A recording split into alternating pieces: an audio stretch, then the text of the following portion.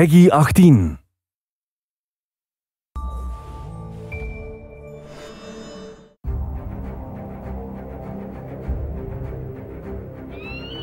My father hoped I would live an easy life, I dare say you could stop a man's heart.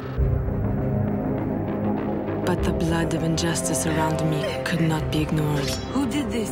Your master? You'll pay for this. When I was a child, my mother was taken from me. Mama? Mama! My city overrun with Spanish soldiers. My people forced into slavery. I told you to keep your place. And so, I fight. I stand with those who stand with me. Why would we need your help? Four reasons right there. I lure my prey to the guise of a lady. Will you allow me to dance?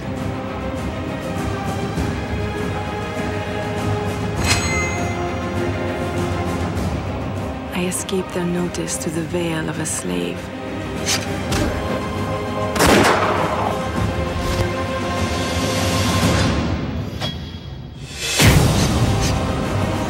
And though I may conceal my identity, one thing is certain. Commit injustice in this world, and I'll send you to the next. I am Aveline de Grandpré.